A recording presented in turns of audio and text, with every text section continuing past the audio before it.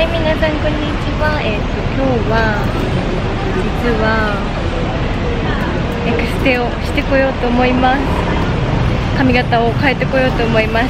で、今回ね行くのはクレイジードレッドのミョンドン本店に行ってくるんですけど、そんなに長くはしないんだけど、まあでも胸ぐらいにはしようかなと思ってて、まあ、一応行ってこようと思います。バイバイ。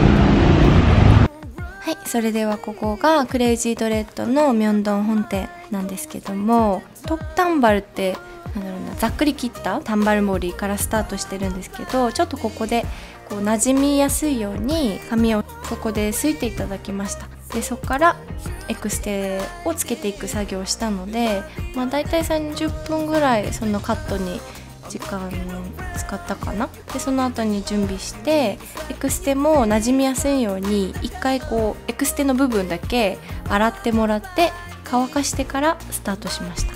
そうするとなんかエクステにマジックっていう縮毛矯正みたいなのがこう施術されてるらしいんですけどその部分がもうちょっとこう地毛と馴染みやすくなるらしくてそういう風な施術の仕方をしていただきました。で大体そうだなつけていただく時間は2時間半ぐらいかかりました。つけていただいた感じはこんな感じです。